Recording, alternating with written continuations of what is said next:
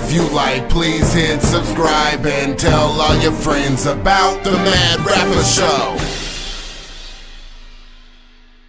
Thank you for tuning in to the Madd Rapper Show. I'm your host, the Madd Rapper, and on today's show, I'm going to be talking to you guys about racism. Now, the high school seniors at Desert Vista High School in Arizona had some nice little t-shirts made up where it said, uh, best you've ever seen, class of 2016. It was awesome. Um, and that's great. It did good. It, it, it, looks funny. It's funny. It's excellent. Probably for the yearbook. Probably like a senior photo. It looks like only girls are in it. So, you know, it's dope.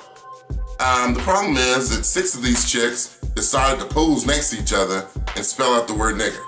Now, a lot of you guys are up in arms and mad about it. I read through the comments and you know, it's pretty much a thing to where you say, hey, um, this is fucked up. And it's not like they live on the rock, so they know it's fucked up. And, and they're super giddy. They're super giddy. It's like a joke. It was funny. It was funny. You guys need to liven the fuck up. Like, live a little bit. Kids spelling out the word nigger on their shirts is funny as fuck. Look at their happy faces. Let's take a moment and just look at this fucking picture. Look how happy they look. By the sheer happiness and joy on their face, I know that the black kids at this school gotta be in the like, what, five percentile? It can't be no niggas in the school with them this happy about this shit. We gotta remember, we live in the internet age where you do dumb shit, you become famous. Now, what's the worst that could happen to them? They could be expelled, they may not be able to graduate, but no, that, that didn't happen. They got suspended for five days. So they went on a mini vacation. Meanwhile, probably at home giggling with their parents because think about it. Kids rebel against their parents, but uh, this is going a bit far. If your parents at home are teaching you a certain way to be, this is reaching a little bit. You know what I'm saying? Like, if, if you have learned from your parents equality and everybody loves everybody and you wouldn't do some shit like this. So nine times out of ten, they hee hawing with their parents. you did it. You know what I'm saying? So it just, it just, it's upsetting, but it's, it's comedy. It's comedy. They didn't spell it out. I don't see G's. They didn't have enough G's, so they used the, you know, the girls with the symbols on their shirts to represent the G's. So it's like edited. It's nice. I'm just, I think it's, I think it's funny. I think what even is more funny is the people in the comments saying stupid shit like it was an accident. It's like, dude, these are high school seniors. They can fucking read. You know, the only accident in this was they accidentally thought the shit was super hilarious and, and thought it was cool to do. Um, the sad part about it, like I said, is we are in the, the internet age.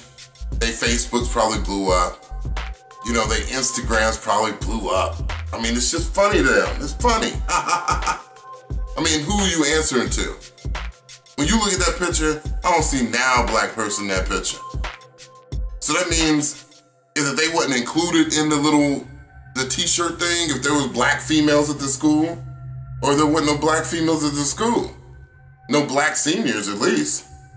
Maybe it's a small, it looked like a pretty big school. I don't really know all the details about this. Um, I'm trying to rationalize it, but every time I think about it, it just brings me back to the fact that what's the worst that could happen? Five day suspension, man. And people are tripping out. Uh, black folks is tripping, but it's like all the black people, bring it in. Let's huddle real quick. Let me explain something to you. You might not want to hear this, but this is real talk. Dude, this has been happening forever. This ain't brand new. Like this is just every every now and again we get a little instance where a motherfucker show us some shit. You know what I'm saying? And y'all be tripping, but dude, be happy that we seeing it. Like remember these girls' faces. Everybody in Arizona, just remember their faces. Say, hey, you one of those nigger girls. Remember that shit. Because every now and again, we sort of, well, I mean, black folks don't really forget, but the world sort of tries to forget racism. And every now and again, somebody will step out of the darkness and show us some shit. And it just ha- so happened to be these girls in the midst of all this racial shit that's happening with like uh, the Oscars and, you know, people tripping about race.